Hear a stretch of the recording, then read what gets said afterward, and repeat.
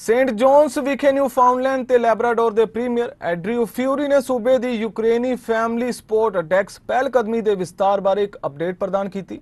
ਇਹ ਸਹਾਇਤਾ ਡੈਕਸ ਮਾਰਚ ਦੇ ਸ਼ੁਰੂ 'ਚ ਸ਼ੁਰੂ ਕੀਤਾ ਗਿਆ ਸੀ। ਤਾਂ ਜੋ ਨਿਵਾਸੀਆਂ ਨੂੰ ਰੂਸੀ ਹਮਲੇ 'ਚ ਯੂਕਰੇਨੀਅਨਸ ਲਈ ਆਪਣੇ ਘਰ ਖੋਲ੍ਹਣ 'ਚ ਮਦਦ ਕੀਤੀ ਜਾ ਸਕੇ। ਉਸ ਨਾਲ ਇਮੀਗ੍ਰੇਸ਼ਨ ਆਬਾਦੀ ਵਾਧੇ ਅਤੇ ਹੁਨਰ ਦੇ ਸੂਬਾਈ ਮੰਤਰੀ ਵੀ ਸ਼ਾਮਿਲ ਰਹੇ। My friends, there has been a heightened anxiety these last three weeks. We've all been feeling it, and it's different from the anxiety created by the pandemic. Night by night, the news out of the Ukraine has been captivating, horrifying. The unlawful invasion of a peaceful country is an international outrage.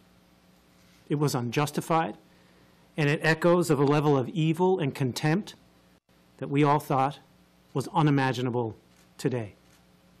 But here we are with our Canadian Embassy, who was moved and excited by this. And we will continue to work with Minister Byrne and her organization moving forward. Our Newfoundland and Labrador Polish team will be small but mighty, reflecting the spirit and compassion of Newfoundlanders and Labradorians. A couple of them know all too well the benefits of Canada and the warm embrace of Newfoundland and Labrador, as they themselves left Poland years ago to settle on this rock, with nothing more than a dream of a better life for them and their families. They will work swiftly to introduce and invite war refugees to Newfoundland and Labrador, as well as work out details on getting them here to our shores. None of us know how the war will play out in the next few weeks or months.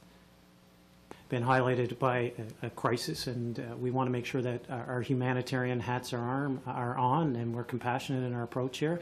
And sending the desk over to work in tandem with uh, the Canadian Embassy will allow us to get a better appreciation of uh, how many uh, are, are willing and, and knowledgeable about Canada, and equally how many that we can, uh, we can help here in Newfoundland and Labrador. I will say this the volume of calls and emails uh, uh, from kind, compassionate Newfoundlanders and Labradorians opening their homes, their bedrooms, uh, their kitchens uh, uh, to the people of Ukraine has been overwhelming. And uh, I think Minister Byrne can speak to some of the logistical exercises that we'll be uh, employing in the next few days to weeks in order to capture that goodwill so that we can make sure that it is well matched with anyone who's deployed.